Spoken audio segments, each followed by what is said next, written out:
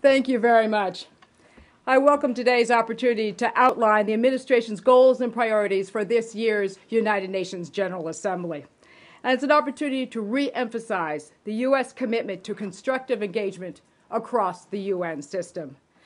And although you can appreciate that much of this is still in flux, uh, the Secretary's schedule for next week will continue to shift. I will be able to highlight a few, a few of her key events next week. But first, I'd like to step back and emphasize a few points about this administration's approach to the United Nations. As you know, for more than two years now, we have prioritized constructive engagement at the UN system and all parts of the UN system because we appreciate the need for cooperation to address some of our most pressing foreign policy issues. It's a very different approach than the previous administration, but I would suggest that the undeniable record since 2009 validates the benefits to Americans of these efforts. For example, robust international response in Libya, including an unprecedented mandate to intervene to protect civilians and prevent atrocities. Strong, broad, and global cooperation to combat nuclear proliferation including tough sanctions against Iran and North Korea. Increasing pressure on the Assad regime by working through the Security Council and the Human Rights Council to amplify the chorus of international condemnation and to take the first steps towards international accountability for the deplorable and deteriorating human rights situation in Syria. And support for life saving humanitarian assistance at the UN's myriad agencies that they provide across the world, whether in Haiti, Pakistan, or now in Somalia, or the Horn of Africa, where famine is threatening millions. And I would suggest that U.S. engagement has led to a marked improvement at the Human Rights Council, which has taken on pressing human rights challenges worldwide, including confronting outrageous violations of human dignity in Syria and Libya, and embracing gay, lesbian, transgender rights as human rights. Given this record of achievement, it is certainly disappointing to again hear calls in the United States for disengagement from the United Nations or for withholding UN dues.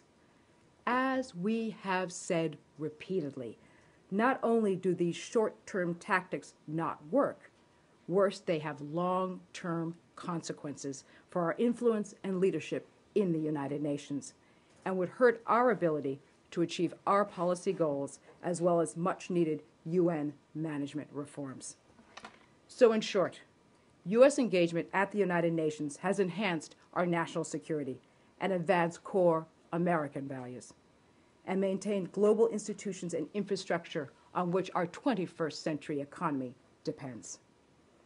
And each of these benefits, as well as some of the challenges, will be on display next week in New York. Now, without getting to all the intricacies of all the different things we'll be doing next week, suffice it to say that the U.S. approach will reinforce our commitment to constructive engagement at the United Nations. Broadly speaking, we'll be working to help the UN improve its tools to counter threats to international peace and security, to promote human rights and democracy, and good governance, and to address global health, particularly non communicable diseases, and to strengthen UN institutions to better take on these and other challenges of the 21st century. So, moving to the schedule for next week, I'll highlight some of the high level events. We start off with the uh, high level event on non communicable diseases on Monday and Tuesday. Now, I know a lot of the headlines this week and next week will probably not focus on this area, but it's an incredibly important one for Americans and people around the globe. The scale of the public health challenge posed by, globally by non communicable diseases, things like cancer, respiratory disease, diabetes, and cardiovascular disease, is huge. These diseases kill 35 million people every year. And this session will provide an important opportunity to bring together governments, UN agencies, civil society, the private sector, and others to map out how the international community could address these diseases and ease some of the burdens on people and on economies around the globe. Turning to the Secretary's schedule, and repeating that, of course, this is still in flux, and so we will continue to give you updates as we get them. But I can outline a few key events for you. On Monday, her first public event will be a special program for key players on Haiti, followed by a large event on gender and food security, and promoting the essential role women can play and must play in agricultural development. She will also appear at a high level event on women's political participation hosted by UN Women. And I know I don't need to emphasize the long term commitment the Secretary has had to these issues. And also, while she's in New York, she'll have a chance to visit the new United States mission to the United Nations New York on First Avenue. On Tuesday, the 20th, the Secretary will attend the Friends of Libya, Libya event in the morning. Now, this is the latest opportunity for the international community to have a closer cooperation with the Libyan people to reinforce international support to the Libyans and commitment to Libya's democratic transition. On Tuesday afternoon, the Secretary will speak at a high level meeting on nutrition and the Scaling Up Nutrition movement.